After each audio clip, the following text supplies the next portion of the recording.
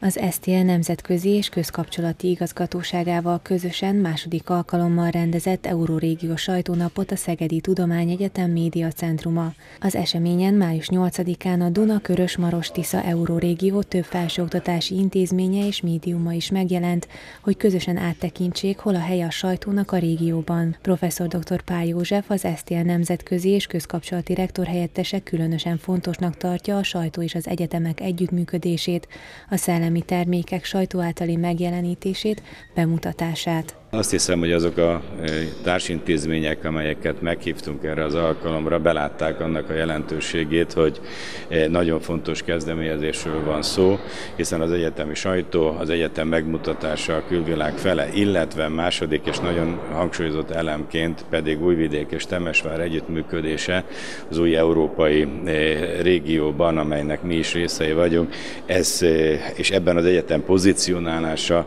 azt hiszem önmagáért beszélő fontos feladatok. A rendezvényen szó esett többek között az európai parlamenti választásokról, a sajtó Európai Unióban való helyéről és szerepéről, valamint a résztvevők megismerkedhettek az Eurórégió különféle médiumaival, köztük például a Temesvári Rádióval és Körzeti Televízióval. A múltkori alkalommal inkább az egész ország fele nyitottunk, Magyarország fele, bár meghívtunk külföldi magyar területeket is erre az értekezetre. A mostani alkalommal viszont a Magyarország többi részét kisé háttérbe szorítottuk, tehát nem annyira az összegyetemi jelleg, ami Magyarország szempontjából számít, hanem a regionális jelleg, hiszen Temesvár és Újvidék bekapcsolása ebbe a programba, ez hát nagyon hangsúlyos a mai alkalommal. Tehát ilyen szempontból némi hangsúlyeltolódás figyelhető meg a, a programokban.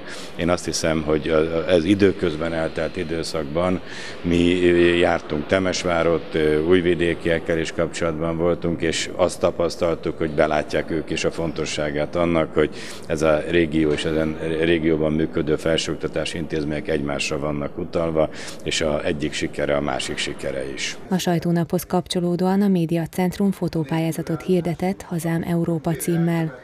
A beérkezett munkákból a délután folyamán fotókiállítás nyílt a Grand Caféban, ahol a legjobb képek alkotóit különféle díjakban részesítették.